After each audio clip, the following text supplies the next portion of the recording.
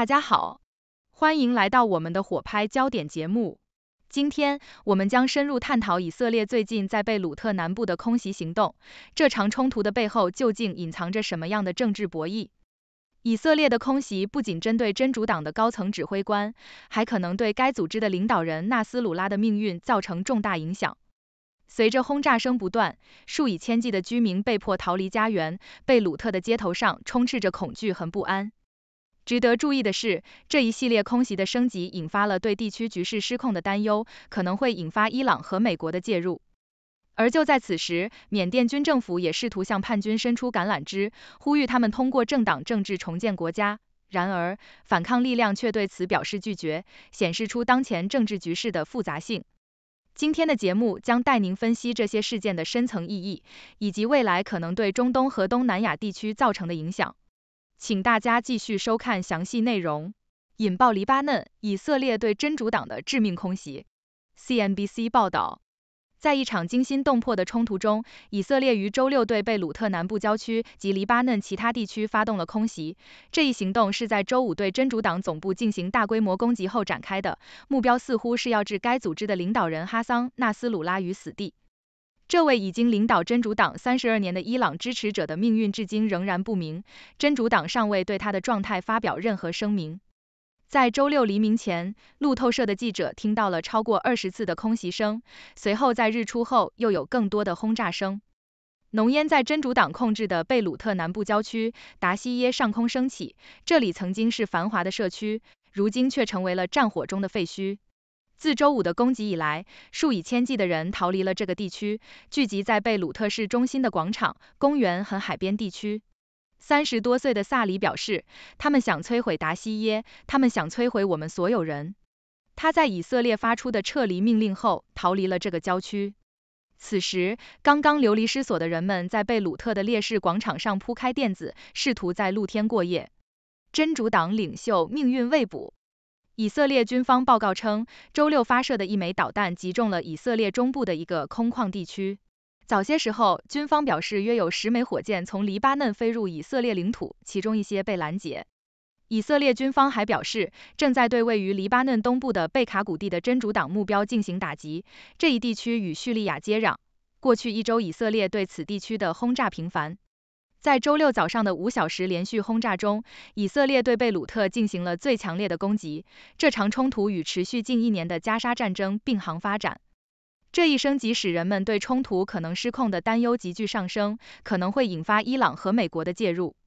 在周五的重击后，纳斯鲁拉的命运尚未得到立即确认，但一位接近真主党的消息人士告诉路透社，他无法联系到纳斯鲁拉。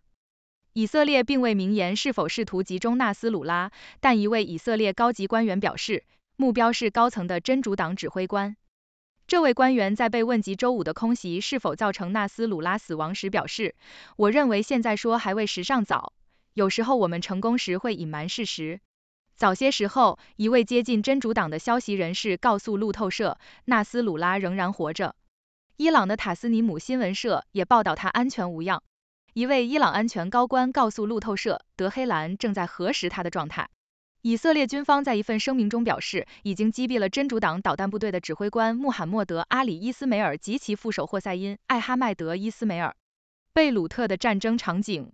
本周以色列在黎巴嫩的攻击范围扩大到新的地区。周六，空袭击中了贝鲁特东南的黎巴嫩山镇巴姆敦。当地的黎巴嫩议员马克·达乌告诉路透社。巴姆敦市长瓦利德·哈伊拉拉告诉路透社，这次空袭击中了一个大型空地，并未造成任何伤亡。在最新的轰炸发生几小时前，以色列总理本雅明·内塔尼亚胡在联合国表示，以色列有权继续这场攻击。他说，只要真主党选择战争的道路，以色列就没有选择。以色列有权消除这一威胁，让我们的公民安全回家。随着内塔尼亚胡走向讲台，几个代表团选择退场。他随后缩短了在纽约的行程，返回以色列。黎巴嫩卫生当局确认，周五的初步攻击造成六人死亡，九十一人受伤。这是过去一周内对贝鲁特真主党控制的南部郊区的第四次攻击，也是自二零零六年战争以来最为严重的一次。随着攻击的持续，死亡人数可能会大幅上升。当局表示，过去一周的轰炸已造成超过七百人死亡。真主党的阿尔曼尔电视台报道，七栋建筑被摧毁。几小时后，以色列军方告诉贝鲁特南部郊区的居民撤离，因为他们正在针对据称位于民居下的导弹发射器和武器储存的进行打击。真主党否认在被轰炸的建筑中有任何武器或军火库。该组织的媒体办公室发表声明称，逃离的家庭居民阿拉阿尔丁萨伊德告诉路透社，他和妻子及三个孩子正在逃离以色列所标定的目标区域。他说：“我们在电视上得知这一消息，邻里里一片混乱。这家人匆忙抓起衣物、身份证明文件和一些现金，但在逃离的路上被堵在了交通中。我们要去山上，我们会看看怎么过夜，明天再看看能做什么。本周，黎巴嫩约有十万人流离失所，这使得该国的流离失所者总数超过二十万。”以色列政府表示，将约七万名以色列撤离者送回家是其战争目标之一。真主党则向以色列发射了数百枚火箭和导弹，包括特拉维夫。该组织表示，周五向以色列北部城市萨法德发射了火箭，造成一名女性轻伤。以色列的空中防御系统确保了目前的损失最小。伊朗则表示，周五的攻击已越过了红线，并指责以色列使用美国制造的破坏掩体炸弹。在联合国，随着本周的年度大会召开，这一升级引发了包括法国在内的关注。法国与美国共同提出了二十一天的停火提议。美国国务卿安东尼·布林肯在纽约的新闻发布会上表示：“我们相信前进的道路是通过外交，而不是冲突。我们将继续与所有各方密切合作，敦促他们选择这一道路。”真主党在去年十月七日哈马斯对以色列发动攻击后，立即发起了这场持久冲突的最新一轮。缅甸军政府向叛军伸出橄榄枝。The Sydney Morning Herald 报道，在缅甸，自从三年前发生政变以来，军政府首次向反对派力量提出重大让步，呼吁他们通过政党政治来修复国家的裂痕，并为即将到来的选举做好准备。这一提议是在一次晚间新闻播报中提出的。军政府希望武装抵抗组织放下武器，组建政党，参加由军方监督的选举。直到现在，军政府一直拒绝国际社会对其与抵抗力量展开对话的呼吁。这一提议让人想起了前军事领导人丹瑞在二零一零年选举前提出的类似建议，那是缅甸二十年来首次允许人民投票，标志着军方向半民选政府过渡的第一步，尽管未能完全符合民主标准。然而，反抗力量的几位指挥官、民族军队和影子民间政府迅速拒绝了这一提议，因为此时抵抗力量似乎即将攻占缅甸第二大城市曼德勒，这将是他们的一次重大胜利。目前，反对派力量控制着缅甸边境和山区的大部分地区，而军方则控制着主要城市和伊洛瓦底河谷的低地。军方在缅甸广受厌恶，并且一直在努力抵挡坚定的反对派。他正在与在边境地区作战数十年的训练有素的民族军队，以及由在政变后拿起武器的平民组成的人民防卫力量做斗争。军政府在一份声明中表示，由于一些个人和组织选择诉诸武装恐怖主义和武装斗争，而未能通过政治手段解决政治问题，国家损失了大量人力资源、基础设施、人民的生命和财产。中国的影响。缅甸的动荡对中国来说是一个挑战，中国是该国最大的投资者，并与其接壤。北京对军政府表示支持，但也与缅甸北部的民族武装团体进行了对话。今年八月，中国外交部长王毅访问缅甸，敦促该国军方首领敏昂莱追求政治和解并举行选举。军政府表示将于二零二五年举行选举，但国际观察家和许多缅甸人民并不相信这次投票会是自由和公正的。在六月份与缅甸前总统登盛的会议中，王毅表示，仅仅举行选举是不够的。这位陪同登盛访华的缅甸高官透露，这位官员要求匿名，因为他未获授权向媒体披露会议细节。根据这位官员的说法，王毅还呼吁军方与被罢黜的民选领导人昂山素季进行对话。昂山素季因被指控的罪名而被判处二十七年监禁。国际社会普遍认为这些指控是捏造的。反对派的反应。美国和平研究所的缅甸项目访问高级专家叶妙亨在 Facebook 上发文表示，他们发布这一声明的原因是为了安抚中国。反对派领导人对此表示怀疑。全国团结政府发言人奈彭拉特质疑道：“需要问的问题是，究竟是谁未能通过政治手段解决政治问题？”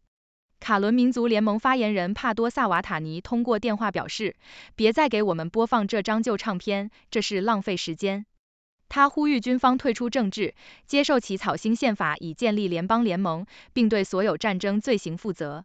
曼德勒人民防卫力量指挥官索图亚扎瓦在 Facebook 上发文表示，他认为这一提议是欺骗性的，这就像挂着一头山羊的头却卖狗肉。许多人对敏昂莱的愤怒不已。巴马人民解放军指挥官高桑卡表示，与希特勒这样的人谈和平毫无意义。这一系列事件显示出缅甸的政治局势依然复杂而动荡，军政府的橄榄枝是否能够真正促进和平，还需时间来证明。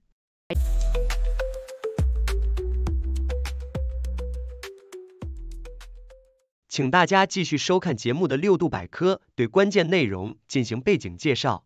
在一场惊心动魄的冲突中，以色列于周六对贝鲁特南部郊区及黎巴嫩其他地区发动了空袭。这一行动是在周五对真主党总部进行大规模攻击后展开的，目标似乎是要置该组织的领导人哈桑·纳斯鲁拉于死地。这位已经领导真主党三十二年的伊朗支持者的命运至今仍然不明。真主党尚未对他的状态发表任何声明。在周六黎明前，路透社的记者听到了超过二十次的空袭声，随后在日出后又有更多的轰炸声。浓烟在真主党控制的贝鲁特南部郊区达西耶上空升起，这里曾经是繁华的社区，如今却成为了战火中的废墟。自周五的攻击以来，数以千计的人逃离了这个地区，聚集在贝鲁特市中心的广场、公园和海边地区。三十多岁的萨里 （Sari） 表示，他们想摧毁达西耶，他们想摧毁我们所有人。他在以色列发出的撤离命令后逃离了这个郊区。此时，刚刚流离失所的人们在贝鲁特的烈士广场上铺开垫子，试图在露天过夜。以色列军方报告称，周六发射的一枚导弹击中了以色列中部的一个空旷地区。早些时候，军方表示，约有十枚火箭从黎巴嫩飞入以色列领土，其中一些被拦截。以色列军方还表示，正在对位于黎巴嫩东部的贝卡谷地的真主党目标进行打击。这一地区与叙利亚接壤，过去一周，以色列对此地区的轰炸频繁。周六早上。以色列对贝鲁特的五小时连续轰炸是自与真主党的冲突以来对该市最强烈的攻击。这场冲突与持续近一年的加沙战争并行发展，这一升级使人们对冲突可能失控的担忧急剧上升，可能会引发伊朗和美国的介入。在周五的重击后，纳斯鲁拉的命运尚未得到立即确认，但一位接近真主党的消息人士告诉路透社，他无法联系到纳斯鲁拉。以色列并未明言是否试图击中纳斯鲁拉，但一位以色列高级官员表示，目标是高层的真主党指挥官。这位官员在被问及周五的空袭是否造成纳斯鲁拉死亡时表示：“我认为现在说悬位时尚早，有时候我们成功时会隐瞒事实。”早些时候，一位接近真主党的消息人士告诉路透社，纳斯鲁拉仍然活着。伊朗的塔斯尼姆新闻社也报道他安全无恙。一位伊朗安全高官告诉路透社，德黑兰正在核实他的状态。以色列军方在一份声明中表示，已经击毙了真主党导弹部队的指挥官穆罕默德·阿里·伊斯梅尔及其副手霍塞因·艾哈迈德·伊斯梅尔。本周，以色列在黎巴嫩的攻击范围扩大到新的地区。周六，空袭击中了贝鲁特东南的黎巴嫩山镇巴姆敦。当地的黎巴嫩议员马克·达乌告诉路透社。巴姆敦市长瓦利德·哈伊拉拉告诉路透社，这次空袭击中了一个大型空地，并未造成任何伤亡。在最新的轰炸发生几小时前，以色列总理本雅明·内塔尼亚胡在联合国表示，以色列有权继续这场攻击。他说，只要真主党选择战争的道路，以色列就没有选择。以色列有权消除这一威胁，让我们的公民安全回家。随着内塔尼亚胡走向讲台，几个代表团选择退场。他随后缩短了在纽约的行程，返回以色列。黎巴嫩卫生当局确认，周五的初步攻击造成六人死亡，九十一人受伤。这是过去一周内对贝鲁特真主党控制的南部郊区的第四次攻击，也是自二零零六年战争以来最为严重的一次。随着攻击的持续，死亡人数可能会大幅上升。当局表示，过去一周的轰炸已造成超过七百人死亡。真主党的阿尔曼尔电视台报道，七栋建筑被摧毁。几小时后，以色列军方告诉贝鲁特南部郊区的居民撤离，因为他们正在针对据称位于民居下的导弹发射器和武器储存地进行打击。真主党否认在被轰炸的建筑中有任何武器或军火库。该组织的媒体办公室发表声明称，居民阿拉阿尔丁萨伊德告诉路透社，他和妻子及三个孩子正在逃离以色列所标定的目标区域。他说。我们在电视上得知这一消息，邻里里一片混乱。这家人匆忙抓起衣物、身份证明文件和一些现金，但在逃离的路上被堵在了交通中。我们要去山上，我们会看看怎么过夜，明天再看看能做什么。本周，黎巴嫩约有十万人流离失所，这使得该国的流离失所者总数超过二十万。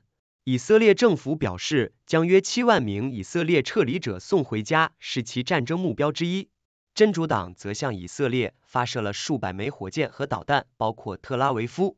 该组织表示，周五向以色列北部城市萨法德发射了火箭，造成一名女性轻伤。以色列的空中防御系统确保了目前的损失最小。伊朗则表示，周五的攻击已越过了红线，并指责以色列使用美国制造的破坏掩体炸弹。在联合国，随着本周的年度大会召开，这一升级引发了包括法国在内的关注。法国与美国共同提出了二十一天的停火提议。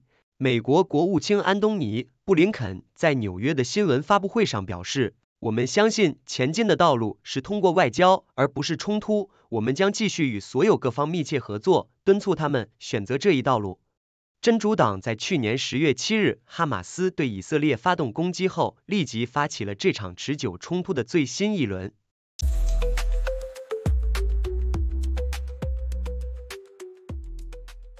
欢迎大家进入六度探索的辩论环节，我们从正反两个角度对本节目进行辩论，请出我们的辩论高手楚天舒、谢琪琪。我是楚天舒，我是谢琪琪。我们首先要认识到。以色列的行动有其正当性。当一个组织如真主党不断对你发射火箭和导弹，作为一个国家，你有责任保护自己的公民。以色列的空袭是针对恐怖分子的领导人，这样的行动可以有效削弱对方的战斗力。毕竟，当年罗马帝国也是在击败卡塔基尼亚的汉尼拔之后，才迎来了长久的和平。楚天舒，你这是在为暴力找借口。空袭不是解决问题的办法，只会让更多无辜的平民陷入危险。你知道中世纪的十字军东征吗？他们也认为自己的行动是正当的，但结果呢？只留下了无数的死亡和仇恨。以色列的轰炸只会让冲突升级，让更多的家庭流离失所。和平不是这样达成的。谢琪琪，你这就是天真的和平幻想。历史告诉我们，面对暴力，软弱只会招致更多的侵略。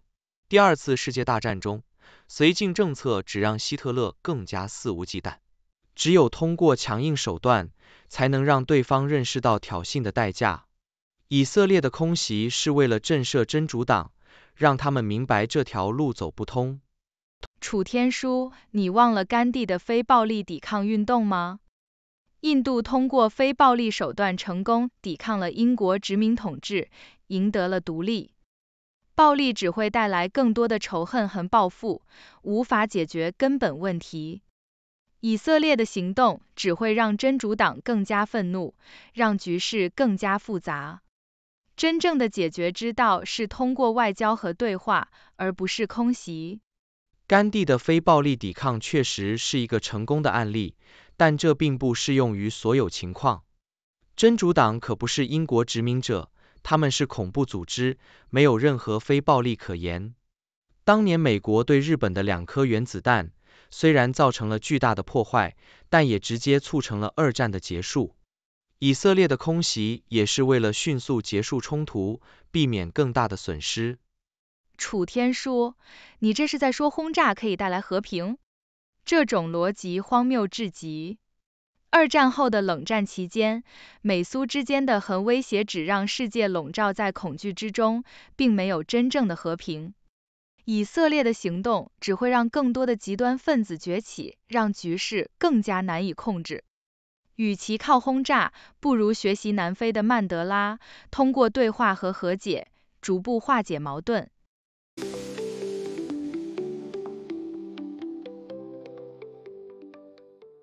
请大家继续收看节目的六博士的分析评论。以色列空袭贝鲁特郊区，纳斯鲁拉的命运不明。CNBC 最近，以色列和黎巴嫩之间的火花四溅，以色列军方对贝鲁特南部郊区以及黎巴嫩其他地区发动了猛烈的空袭。这次行动的主要目标是要击杀真主党的领导人哈桑·纳斯鲁拉。这位领导人已经在真主党的宝座上坐了三十二年，现在他的命运成为了焦点。真主党对此一直保持沉默，没有透露纳斯鲁拉的状况。黎明的爆炸声响彻天际，如同电影里的场景再现。贝鲁特南部的达西耶地区真的成了一片废墟，这曾经繁荣的社区，如今变成了战火的焦点。居民们纷纷逃离，前往市中心寻找避难所。在烈士广场上，流离失所的人们铺开垫子，试图在露天过夜。这景象让人不禁感叹：战争无情，人心却依旧坚韧。据以色列军方报告，周六的一枚导弹击中了以色列中部的空旷地区，而黎巴嫩发射的十枚火箭中有一些被拦截。以色列还对黎巴嫩东部贝卡谷地的真主党目标进行了打击，这一地区与叙利亚接壤，成为了以色列空袭的频繁目标。此次连续轰炸持续了五个小时，达到了前所未有的强度，使人们对冲突升级的担忧达到了顶峰。这可能会引发伊朗和美国的介入，一场更大规模的地区冲突似乎一触即发。虽然纳斯鲁拉的命运尚未明朗。但以色列的目标似乎是高层的真主党指挥官。以色列军方声称，已经击毙了真主党导弹部队的指挥官穆罕默德·阿里·伊斯梅尔及其副手霍塞因·艾哈迈德·伊斯梅尔。随着攻击范围扩大，贝鲁特东南的黎巴嫩山镇巴姆敦也成为了目标。以色列总理内塔尼亚胡在联合国发表讲话。强调以色列有权捍卫自己的安全，并将继续这场攻击。而黎巴嫩卫生当局确认，攻击已经造成数十人死亡，数百人受伤。这一系列的事件显示出中东地区持续的紧张局势，而真主党作为主要的反对力量，并未轻言放弃。战火蔓延，流离失所的黎巴嫩人数不断攀升，而以色列也面临着来自真主党的持续火箭攻击。国际社会的调停成效仍未可知。缅甸军政府试图向叛军伸出橄榄枝。The Sydney Morning Herald 在遥远的缅甸，军政府似乎意识到硬碰硬的策略行不通，首次向反对派伸出了橄榄枝，试图寻求和平解决方案。军政府在晚间新闻播报中呼吁武装抵抗组织放下武器，转而参与政党政治，以便为即将到来的选举做好准备。这一提议让人想起了二零一零年类似的举措。那次选举虽然标志着某种进步，但仍未能达到民主的标准。然而，反抗力量似乎并不买账。几位指挥官和民族军队迅速拒绝了这一提议，认为这是一种转移注意力的伎俩，尤其是在抵抗力量即将攻占曼德勒这一重大胜利的时刻。当前。反对派力量控制着缅甸边境和山区的大部分地区，而军方则控制着主要城市和低地。军政府的声明中提到，由于一些人和组织选择武装恐怖主义，国家蒙受了重大损失。但显然，这一说法无法说服反抗力量。中国作为缅甸最大的投资者，也面临两难境地。中国外交部长王毅曾敦促缅甸军方追求政治和解，但国际观察家对选举的公正性持怀疑态度。反对派领导人对军政府的橄榄枝表示怀疑，认为这是一种安抚中国的策略。他们认为，真正的问题在于军方是否愿意退出政治，并对过去的战争罪行负责。反对派领导人奈蓬拉特和卡伦民族联盟发言人帕多萨瓦塔尼都强调，军方必须接受新的宪法以建立联邦联盟。曼德勒人民防卫力量指挥官索图亚扎瓦和巴马人民解放军指挥官高桑卡也对此提议表示不屑。他们认为与军方谈判毫无意义，因为军方的诚意让人质疑。从这一系列的事件可以看出，缅甸的政治局势依然复杂而动荡。军政府的橄榄枝是否能够真正促进和平，仍需时间来证明。而反对派力量的坚决态度也表明，缅甸的和平之路依然漫长。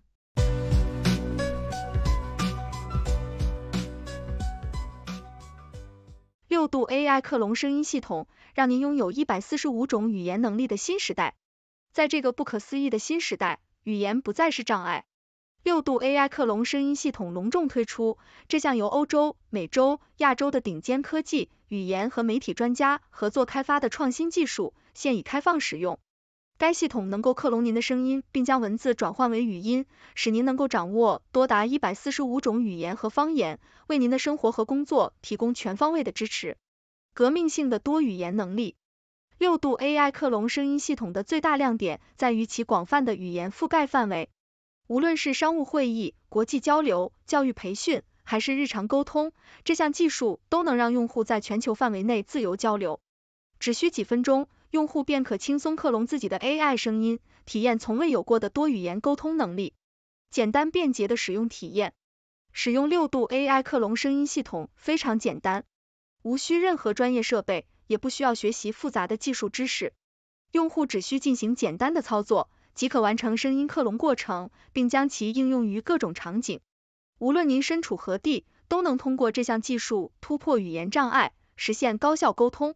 广泛的应用场景，这项技术的应用范围广泛，从商业到教育，从媒体到娱乐，都能发挥重要作用。对于企业来说，这意味着可以更好的与全球客户和合作伙伴沟通。对于教育机构，这可以帮助学生更好的学习多种语言；对于媒体和娱乐行业，这将带来全新的内容创作方式。立即体验六度 AI 克隆声音系统现已上线，欢迎访问以下链接进行体验。六度 AI 克隆声音系统 https 六度 world tts。立即登录，体验这项改变未来的创新技术，让您的声音在全球范围内响起。谢谢大家收看六度探索。这是一个由科学家、经济学家、媒体人、工程技术人员合作建立的新型媒体。网友与六度 AI 参与合作，完成各种内容。这些内容不能作为任何决策或法律的意见。这是一个新型的试验性媒体方式，我们希望得到大家的支持，修正错误。网友可以参与讨论，也可以向万能的六博士提出你能想出的任何问题。六度世界网址是六度 World。请介绍给你的亲朋好友。